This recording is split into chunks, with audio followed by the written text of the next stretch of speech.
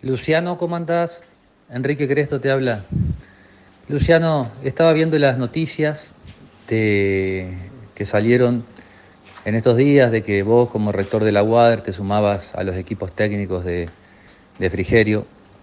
Te digo, Luciano, que si bien al tema no lo hemos hablado personalmente y las últimas charlas que hemos tenido siempre fueron hablando de un proyecto educativo, un proyecto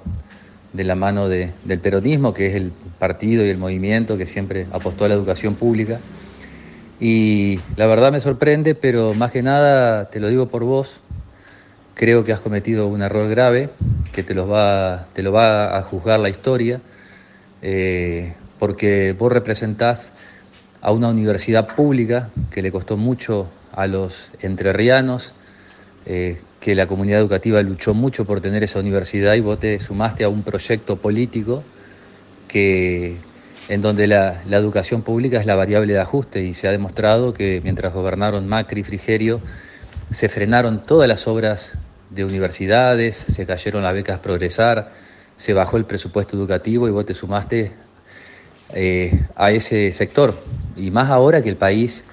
eh, con los últimos acontecimientos, lo que viene, o estás del lado de las mayorías o estás con, estos sectores que lo único que han hecho es siempre vulnerar los derechos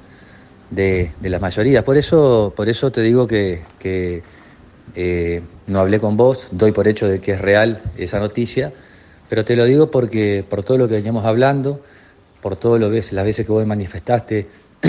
el dolor que tenías con, con, este, con esta gente, tanto Macri como Frigerio, porque durante los cuatro años lo único que hicieron fue frenar absolutamente todo y causar mucho dolor en los sectores más populares y ni hablar en la educación pública, que es la única posibilidad de que los trabajadores, los hijos de los trabajadores accedan a la universidad. Entonces, digo porque nunca lo charlamos al tema y me enteré por los medios, pero te lo quería, te lo quería dejar en claro. Abrazo grande y éxitos.